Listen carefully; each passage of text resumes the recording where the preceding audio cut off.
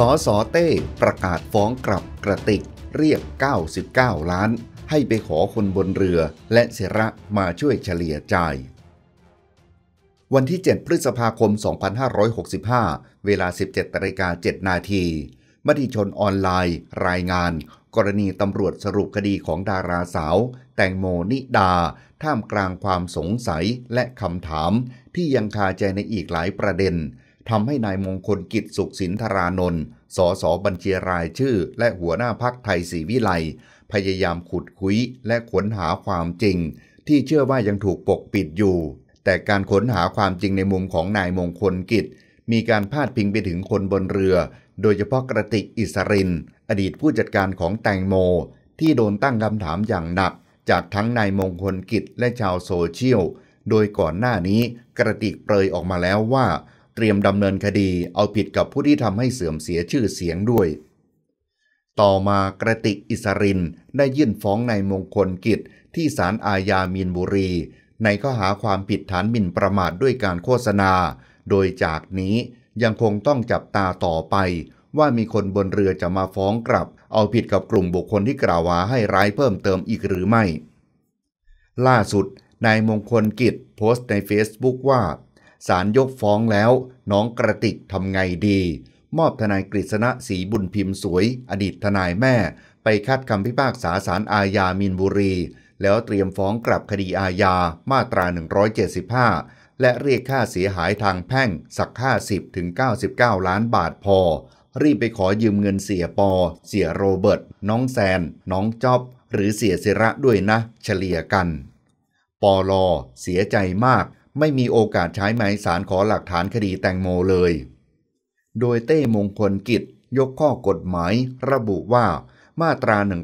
175 ผู้ใดเอาความเท็จฟ้องผู้อื่นต่อศาลว่ากระทำผิดอาญา หรือว่ากระทำผิดอาญา แรงกว่าที่เป็นความจริง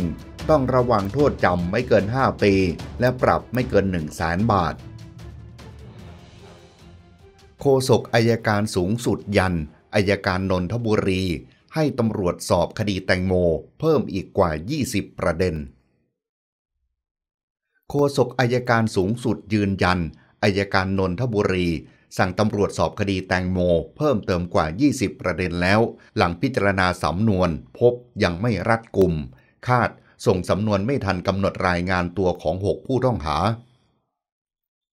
วันที่ 6 พฤษภาคม 2565 เวลา 21นาฬิกา18 นาที ไทยรัฐออนไลน์ รายงานความคืบหน้า คดีของดารานักแสดงสาว นางสาวนิดาพัทรวีรพงศ์หรือแตงโม ที่สำนวนการสอบสวนของเจ้าหน้าที่ตำรวจชุดคลี่คลายคดีนำสำนวนส่งฟ้องผู้ต้องหา 6 คนจำนวน 5 ลัง ส่งมอบให้ทางอายการจังหวัดนนทบุรี พิจารณาก่อนส่งฟ้องศาลจังหวัดนนทบุรี ต่อมามีกระแสข่าวลือว่าทางอายการได้สั่งให้พนักงานสอบสวน กลับไปสอบเพิ่มเติมอีกหลายประเด็น ล่าสุดวันที่ 6 พฤษภาคม 2565 นายอิทธิพรแก้วทิพย์อธิบดีอายการสำนักงานคดีอาญา ในฐานะโฆษกสำนักงานอายการสูงสุดเปิดเผยว่า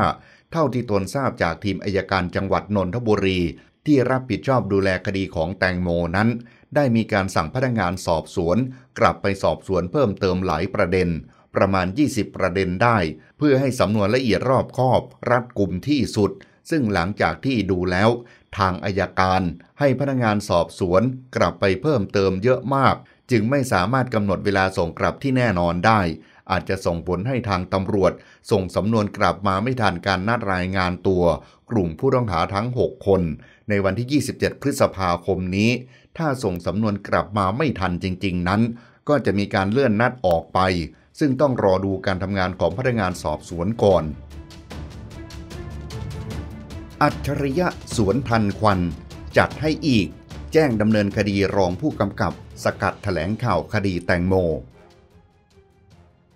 อัจฉริยะสวนทันควันขึ้นโรงพักที่หนองคาย แจ้งความกลับ พันตำรวจโทรระดับรองผู้กำกับ เอาผิดมาตรา 172 173 หลังถูกแจ้งจับก่อน ชี้เป็นกระบวนการสกัด ไม่ให้ถแถลงข่าวคดีแตงโม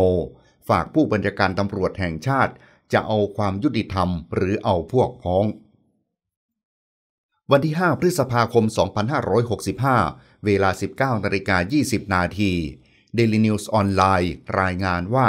นายอัจฉริยะเรืองรัตนพงศ์ ได้เข้าแจ้งความกับพันตำรวจโทนัฐการวรรณพันธ์สารวัตรสอบสวนสพเมืองหนองคาย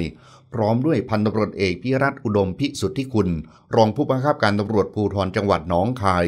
พันตำรวจเอกยุทธนางามขัด ผู้กำกับสถานีตำรวจภูธรเมืองหนองคาย เพื่อดำเนินคดีกับพันตำรวจโทพจตะวงประนุษรองผู้กำกับการสอบสวนสอนอประเวศตามมาตรา 172 173 ประมวลกฎหมายอาญา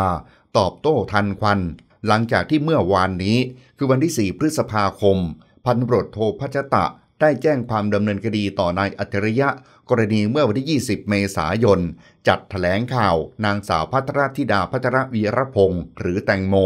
นักแสดงชื่อดังตกเรือสปีดโบ๊ทที่โรงแรมอันนานาวา อำเภอปากเกร็ด จังหวัดนนทบุรี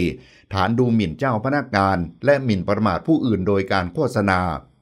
ซึ่งหลังรับแจ้งความแล้ว ทางตำรวจสพเมืองหนองคาย จะได้รวบรวมข้อมูลทั้งหมด ส่งให้กับสอนอประชาชื่นท้องที่เกิดเหตุ เพื่อดำเนินการตามขั้นตอนของกฎหมายต่อไป นายอัจฉริยะกล่าวว่า ตนต้องสวนทันควันกับตำรวจที่มาแจ้งความ ทั้งนี้ขอถามว่า สิ่งที่ตำรวจมาแจ้งความนั้น รู้อยู่แล้วว่าตนไม่ได้กระทำความผิด แต่ต้องการปิดปากตน เพื่อไม่ให้ตนดำเนินการในคดีของแตงโมต่อ ซึ่งการทำแบบนี้ไม่ใช่วิธีของลูกผู้ชาย จริงๆ แล้วต้องแฟร์กัน ดังนั้นเมื่อตำรวจแจ้งความมา ตนก็ต้องแจ้งความกลับ โทษหนักกว่าตนอีก ความผิดหมิ่นประมาทด้วยการโฆษณา มีโทษ 2 ปี แต่ตนแจ้งมาตรา 172 มีโทษ 2 ถึง 7 ปี และมาตรา 173 ซึ่งตนมีหลักฐานยืนยันอยู่แล้วว่า สิ่งที่ตำรวจทำไปเป็นเท็จ มันมีอะไรชัดเจนอยู่แล้ว ตนมั่นใจว่าตนไม่ผิด ไม่ต้องมาใช้อำนาจรัฐในการข่มขู่ตน เพราะคดีนี้ต้องไปพิสูจน์ว่าศาลจัดพิจารณาคดีแตงโมอย่างไรต่อ ถึงจะแจ้งข้อหาตนได้ ตนขอเตือนพนักงงานสอบสวนว่ากำลังตกเป็นเหยื่อของตำรวจนนทบุรี ขอให้ทบทวนให้ดี เพราะตนมีนักกฎหมายอยู่ในชมรมจำนวนมาก ไม่อยากให้พนักงงานสอบสวนต้องถูกลงโทษมาตรา 157ฝากถึงผู้บัญชาการตำรวจนครบาล ว่าการให้คนมาเจราจาแล้วยังไงกันแน่ ให้คนมาเจราจา แต่ให้ลูกน้องอีกชุดหนึ่งไปแจ้งความ แบบนี้หมายความว่ายังไง ตนไม่รับข้อเสนอเรื่องเงินอยู่แล้ว เพราะตนคิดเสมอว่า แตงโมเหมือนลูกสาวของตน ถ้าลูกสาวตนถูกทำแบบแตงโม ซึ่งเป็นการฆาตกรรมอำพราง แล้วตนจะรับได้หรือ คดีนี้ค่อนข้างชัดเจน ว่ามีขบวนการสร้างพยานหลักฐานเท็จ และขัดขวางไม่ให้ตนแถลงข่าวใหญ่เกี่ยวกับการสร้างพยานหลักฐานเท็จของคดีแตงโม ในวันที่ 9 พฤษภาคมนี้ นายอัจฉริยะกล่าว นายอัจฉริยะกล่าวอีกว่า ส่วนกุญซือของตำรวจก็เป็นทนายโม่ ไม่รู้กฎหมาย ต่อให้คุณแจ้งความกี่ครั้ง ตนก็จะสวนกลับทุกครั้ง ฝากถึงผู้บัญชาการตำรวจแห่งชาติด้วยว่า ขณะนี้จะเอาความยุติธรรมเพื่อความถูกต้องช่วยเหลือเหยื่อที่ถูกฆาตกรรมอำพราง หรือจะเอาพวกพ้อง ถ้าจะเอาพวกพ้องที่เป็นคนของท่าน ไม่ว่าจะเป็นผู้กำกับนนทบุรี ผู้บัญชาการตำรวจนครบาล ผู้บังคับการสืบสวนตำรวจภูธรภาคหนึ่งท่านจะต้องพิจารณาว่าจะทนกระแสสังคมไหวไหม กับการเรียกร้องความยุติธรรมของตน ต่อคดีแตงโม ซึ่งไม่มีใครหยุดตนได้ และไม่มีใครขอตนได้ ยังไงก็ต้องเดินหน้าเอาคนผิดมาลงโทษตามกฎหมายให้ได้ นายอัจฉริยะยังได้ฝากถึงแซนด้วยว่า ตนท้าแซนไปสาบานที่วัดหงอำเภอพุทธไทยสงจังหวัดบุรีรัมย์ไม่ใช่สาบานหน้าบ้านหรือวัดไหนก็ได้ ระบุไปเลยว่าอยากให้ไปสาบานที่วัดหง ถ้าคุณมั่นใจว่าไม่ได้ทำผิด ไม่ได้ให้การเท็จ อย่าอ้างว่าไม่สะดวกหรือไกล คนเราถ้ามั่นใจว่าไม่ได้ทำผิด ขอให้ไปวัดหงกับตน ตนกล้าสาบานต่อหน้าวัดหงว่า คนทำคดีแตงโม ด้วยเป็นเหยื่ออาชญากรรม และทำด้วยความบริสุทธิ์ใจ ไม่มีใบสั่ง หรือไม่มีนัยยะแอบแฝง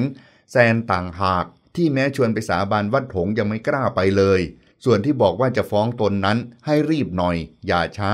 ทนายความที่เป็นกุญซืออยู่ข้างๆทำอะไรตนไม่ได้ เพราะรู้อยู่แล้วว่าต้องทำคดีหลักที่แซนถูกดำเนินคดีอยู่ให้เสร็จสิ้น และตนก็เป็นคนกล่าวหา ในข้อหาให้การเท็จต่อเจ้าพนักงาน ซึ่งขณะนี้อยู่ระหว่างการสอบสวน ดังนั้นอย่าปากดี ถ้ามั่นใจว่าไม่ผิดไปวัดหงกับตนดีกว่า ถ้าไม่มีเงิน ตนจะออกเงินค่าเดินทางให้ก็ได้สองหมื่นบาท ส่วนแม่ของแตงโมนั้น นายอัจฉริยะบอกว่าไม่เกี่ยว เพราะแม่ไม่รู้เรื่อง